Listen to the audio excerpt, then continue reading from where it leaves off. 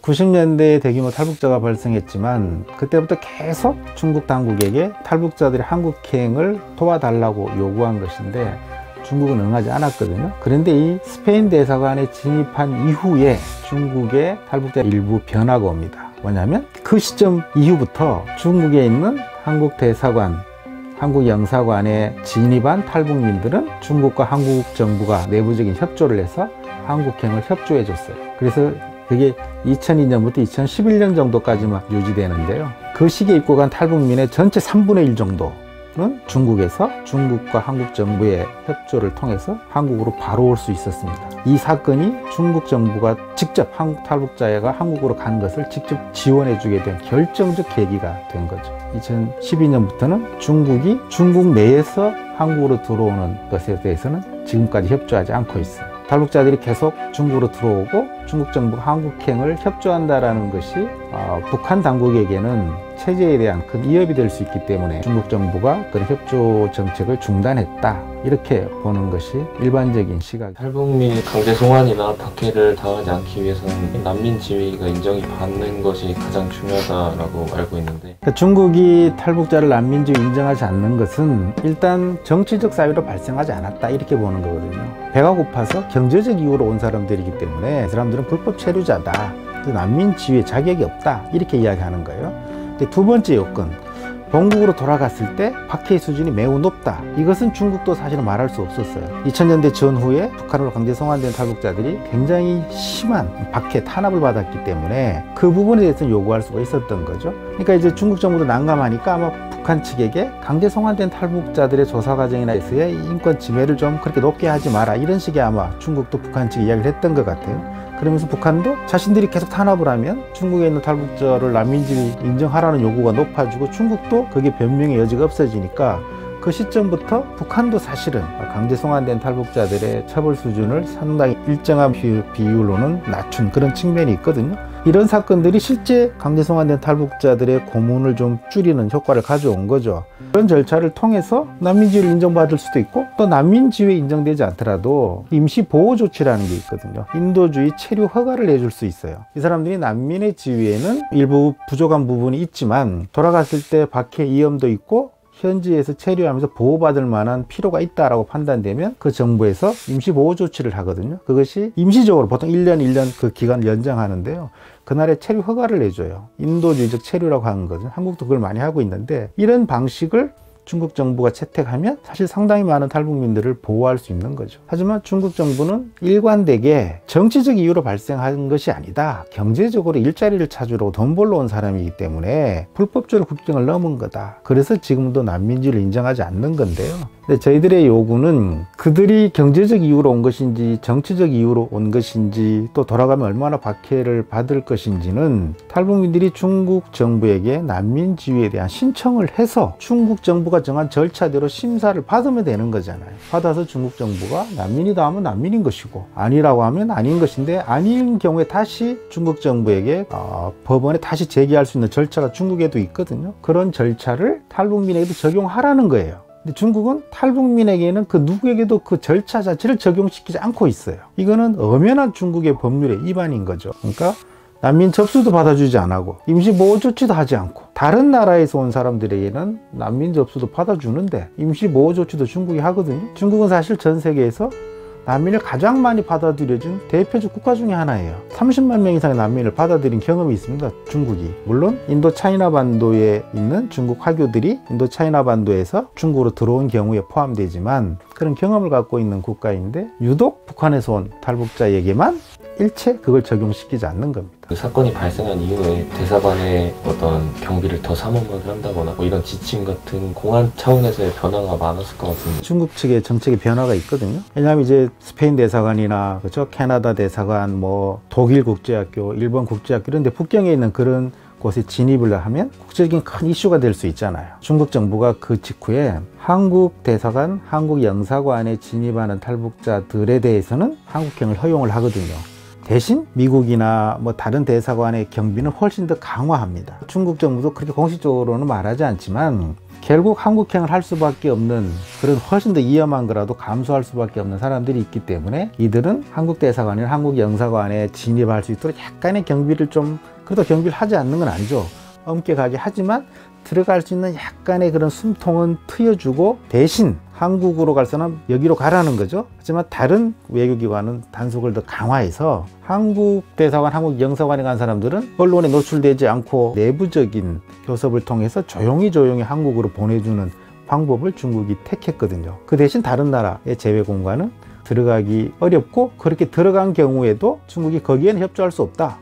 라는 그런 입장을 갖고 있었어요. 탈북민들 입장에서는 한국행을 원하는데 다른 미국이나 스페인 대사관에 가서 국제적인 이슈가 한국행을 가기 어려운 것보다는 한국 대사관, 한국 영사관으로 진입하면 한국으로 올 수 있었기 때문에 이제부터는 큰 논란을 일으키지 않고 그런 방법을 대부분 택하게 된 거죠. 그것이 2011년까지였다는 겁니다. 이건 물론 중국이 북한에 대한 정책적 입장도 있지만 한국 정부와 중국 정부의 관계 도 영향을 미쳤을 수 있죠. 한중 관계가 우호적이고 관계가 긴밀할 때는 중국 정부도 탈북자 한국행에 좀 더 협조적인 자세를 가질 수 있었던 거고 그것이 또 우호적인 관계가 조금 어긋나면 탈북자 한국행을 협조하는데 중국이 좀 난색을 표하는 그런 부분도 있었을 텐데 아마 더 중요한 요인은 한중 관계보다는 북중 관계인 거죠. 코로나 이후에 중국에 있는 탈북민들에게 해달라는 난민으로 인정해달라는 그런 내러티브 운동은 필요할 것 같아요. 탈북민이 대규모 발생했을 때 우리 한국에서 천만인 서명 운동 했었거든요. 그리고 매주 어, 중국에는 탈북인 난민주의 인정하라고 하는 시위를 중국 대사관 앞에서 매주 한 번도 안 빠지고 해 왔었는데요. 최근 들어서 사실은 그런 운동을 하던 분들도 이제 20여 년 활동을 하다 보니까 피로감도 있고 또 중국이 응하지 않으니까 그러면서 그런 운동들이 좀 소강 상태에 있지만 지금도 여전히 일부는 그런 운동을 하죠. 그런데 이제 코로나 사태로 지금 조중 국경도 막히고 중국 내에서 탈북자 이동이 어렵지만 코로나가 이제 풀리게 되면 탈북민들이 다시 이동을 하고 발생할 서지가 높기 때문에요. 사실 그렇다면 그분들을 보호하기 위한 중국 내 탈북 난민 보호 운동, 어떤 국제적인 서명 운동, 또 미국이나 이런 유럽, 또 다른 여러 가지 서방 국가나 국제인권 단체들이 좀 더 공동으로 강한 목소리로 중국 당국에게 탈북 난민 보호에 대한 요구, 운동을 다시 활성화해야 될 필요성은 분명히 있는 거죠. 대규모 탈북자 강제 송환 사태가 코로나가 종식되는 시점에 발생할 가능성이 매우 높습니다. 지금 중국 내에 탈북자를 강제 소환하기 위해서 대기하고 있는 시설이 있는데요. 그곳에 지금 2년 가까이 체포된 탈북자들이 계속 누적돼서 상당히 많은 인원이 송환을 대기하고 있거든요. 이거는 조중 국경이 풀리면 바로 송환될 수 있는 사람들이에요. 이것을 막아주는 아주 강력한 아, 국제사회의 국제인권 메커니즘의 활동이 있어야 되는 거죠. 당연하죠. 난민 인정이라고 하는 건요, 그 나라의 체류를 허용한다는 겁니다. 합법적으로. 그 난민 지위 인정이 되면 체류국에서 체류가 가능하고요. 직장을 갖는 것이 가능해집니다. 그러니까 기본적인 신변 안전에 대한 위험이 없어지는 것이고 경제 활동도 가능한 것이고 또 그 과정에서 제3국으로의 이동도 또 가능하거든요. 그러니까 어, 난민 지위가 가장 어, 안전하고 높은 수준의 지위 보장 방식인 것이고요. 그보다 조금 밑에 있는 것이 임시보호 조치라고 하는 것이죠. 임시보호 조치만 돼도 아, 기본적인 강제 송환은 피할 수 있습니다. 러시아가 겉으로는 국제법적으로 다 인정해준다 이런 얘기가 있던데 러시아 구성원 문제도 상황은 어떤가요? 어, 탈북민들이 중국에만 있는 건 아니거든요. 러시아에도 있고 그 인근 국가에 나가 있는데 사실 중국을 제외 하면 그 외의 나라에서는 난민지위를 부여받을 수 있는 가능성이 모두 다 있습니다. 러시아도 러시아에 있는 지금 유엔 사무소에 들어가서 난민지위 신청을 하게 되면 심사 과정을 거쳐서 난민지위를 부여하거든요. 이건 1990년대부터 마찬가지였습니다. 그러니까 러시아는 기본적으로 난민에 정한 그런 국제 협약을 준수하고 있는 거예요. 하지만 모든 탈북민에게 다 난민지위를 부여하거나 그러진 않습니다. 그러니까 제한적으로 에서 정한 국제 협약을 지키고 모스크바 사무소에 진입한 사람들에 대해서 난민지위를 인정하면 러시아 정부도 그것을 존중하는 그런 그런 체제가 되어 있기 때문에 일정한 분들은 러시아에서 난민지를 인정받고 한국으로 들어오고 있거든요.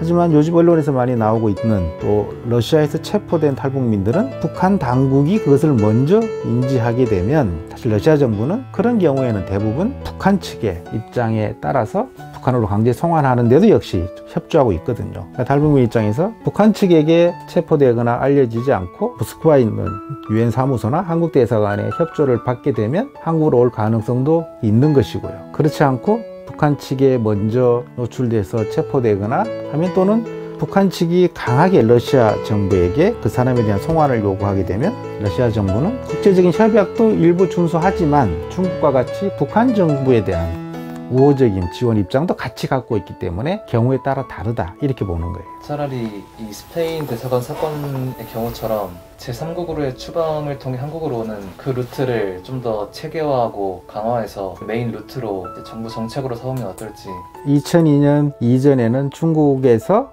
중국에 있는 탈북자를 한국으로 보내주는 협조 체계는 전혀 없었습니다. 스페인 대사관 사건을 계기로 2011년까지는 중국이 그거를 허용한 것이거든요. 그런데 2011년 이후에는 중국 정부가 중국에서 한국으로 오는 탈북 자에 대해서는 일체 협조를 안 하고 있어요. 그러면 2011년 뒤에 한국으로 들어온 탈북자들은 어떻게 왔을까? 일단 조중국경을 넘어서 중국으로 가는 것이 일반적인 거잖아요. 그래서 중국에서는 중국 공안의 눈을 피해서 민간 활동가들의 도움이든 브로커의 도움이든 다양한 방법으로 중국 을 넘어서 동남아시아나 몽골이나 또는 러시아나 한국행이 가능한 또 다른 제3국으로 이동을 해야 하는 것이거든요. 그렇게 이동해서 동남아시아나 다른 국가에서 한국으로 들어오고 있는 상황이거든요. 그런데 지금 2002년 그 시점처럼 2011년 이후부터는 중국이 중국에 있는 다른 대사관이나 다른 국제학교에 진입했다? 한국경을 허용하지 않고 있습니다. 그러니까 중국에서는 중국 정부가 인지한 상태에서는 극히 뭐 아주 최고위급 탈북민이라든지 그런 한국의 어떤 중국과 외교적인 예외적인 교섭을 통해서 오는 경우는 있을 수 있겠지만 일반적인 탈북민들은 중국에서 일체 허용을 하지 않기 때문에 사실 별 방법이 없는 거예요. 2011년 이후에 중국이 한국행을 허용하고 협조해 주는 건요. 기환 국군 포로군, 기환 납북자분, 국군 포로와 우리 납북자분이 북한에 억류돼 있잖아요. 이분들이 어, 중국을 통해서 탈북자들과 같은 채로 탈출해서 한국으로 오는 경우 있거든요. 근데 이분들은 원래 남한적을 가졌던 분들이기 때문에 이분들은 중국에 와서 한국 정부 측의 한국 대사관에게 협조 요청을 하면 사실관계를 확인해서 이분이 국군 출신이었구나 원래 남쪽 출신인데 북한에서 납치해 간 거라는 게 확인이 되면 이 경우에는 중국 정부도 이분들의 한국행은 협조해 줬습니다. 이게 극히 예외적인 경우죠. 이런 경우 외에 중국이 2011년 이후부터는 북한 출신 분들은 한국행을 협조하지 않는다는 거예요. 그래서 제3국으로 다시 이동할 수밖에 없고 중국이 아닌 또 다른 3국에서 한국으로 들어오고 있는 거죠.